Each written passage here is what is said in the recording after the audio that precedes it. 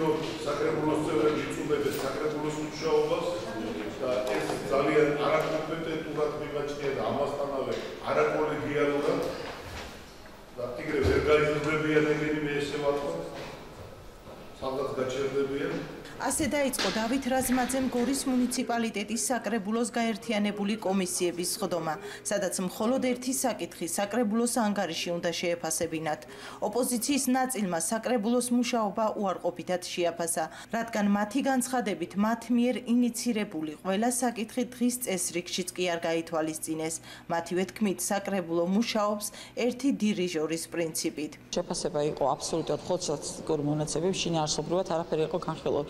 ფაქტიურად ერთიან ნაციონალურ მოძრაობას უმეტეს საკითხისათვის არ დაუჭერია მხარ დამტეტადებითად ვერ შევასრულებ, იმიტომ რომ არ გაითვალისწინეს ოპოზიციის აზრი უამრავ საკითხთან დაკავშირებით, რომელიც იყო წარმოებული, არც ჩვენი ინიცირებული წინადადებები არ გაიტანეს ხდომაზე, ან ყველა ფაქტიურად იყო მხოლოდ მხოლოდ პოლიტიკური ნიშნით ჩაკდებული, თუმცა ის წინადადებები, რომელიც ჩვენ ქონდა საკრებულოს გადანილი, აბსოლუტურად ყველა იყო კარგი და მოსახლეობის ცხოვრების პირობების გამარჯვებისათვის იყო ხელსაყრელი, თუმცა ეს ერთ პირველად მოხდა, რომ არა. ამას საკრებულოს წერვის უმეტესი ნაწილი საერთოდ არ იცნობს რაზე კეჭს რაზე უყრია და არც კითხულობენ, იმიტომ რომ ფაქტიურად ერთი დირიჟორის ხელის მოსმით ხდება ორკესტრირება და ეს ჩემთვის არის მიუღებელი. საკრებულოს თავმჯდომარის განცხადებით ოპოზიცია მხოლოდ და მხოლოდ თვითგვემაშია. რა ვიცი, არაფერ შეარჯდება, იმიტომ რომ ამ საკრებულოში თვითონაც არიან და გამოდის რომ ეს იგი საკრებულოში თვითონაც არ მუშაობენ.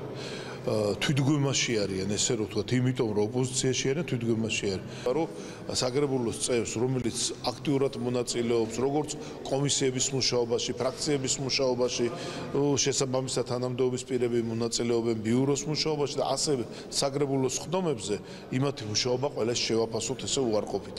ეს არ არის სწორი. ანგარიში მოიცავდა 2017 წლის 14 ნოემბრიდან დღემდე პერიოდს, რომელიც საკრებულოს წევრებმა დადებითად შეაფასეს.